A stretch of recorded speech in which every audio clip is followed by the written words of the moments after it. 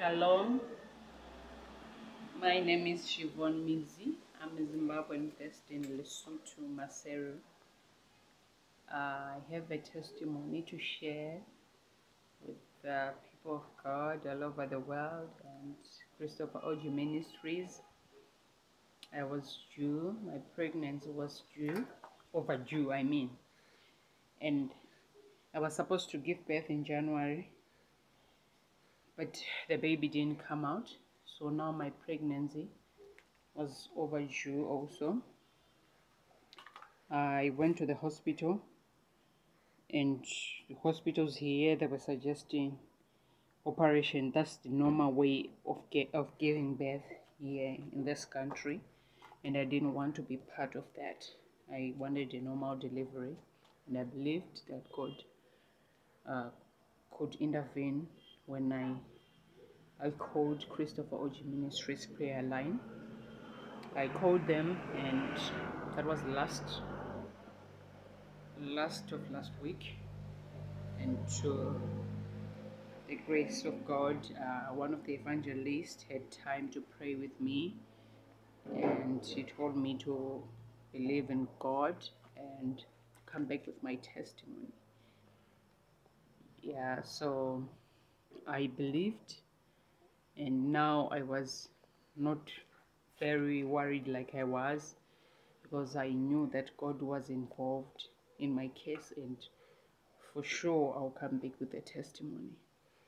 So last Friday, miraculously, I went to the hospital.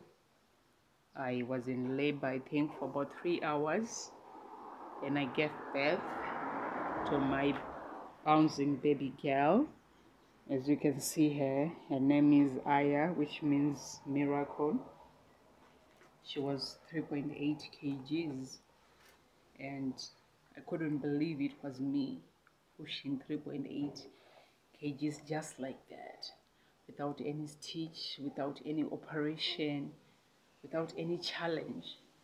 When I told the nurses that I want to push now, they also they also they said no, not now, it can't. But to their surprise, when they came to check me, the baby was already coming out.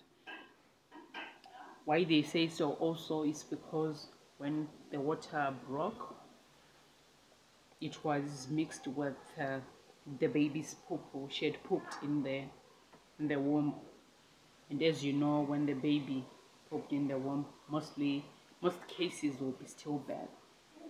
So maybe that's why they said not now because now they were thinking maybe it was a stillbirth. My baby couldn't survive, couldn't survive it. But I believed God.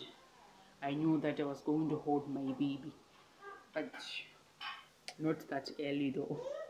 I was so surprised. I was in labor for few hours and I gave birth normally. Everything was just okay and I'm just normal. And it was a big surprise to me because my first baby it was 2.6 but I had had to cut me. I had complications after birth, you know. But this one, it was indeed a miracle. You could feel that there is God's hand that is involved here. I just want to thank God. Just want to thank God of uh, Christopher Orji Ministries, the way he is touching people's lives all over the world. It's not that you have to go there direct, but even over the phone. If you believe, it will happen. I thank God for my beautiful bouncing baby girl.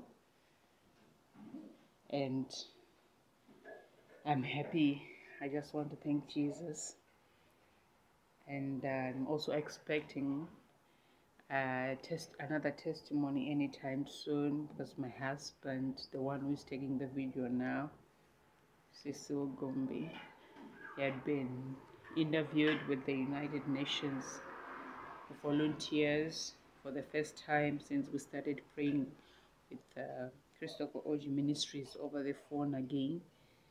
And he had been interviewed, and We are waiting for a response. In Jesus' name, we believe and know that God of Christopher Orji will do it again and again when you testify to his goodness.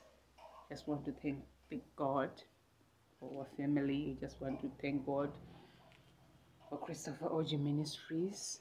May it expand in Jesus' name. Amen. Thank you.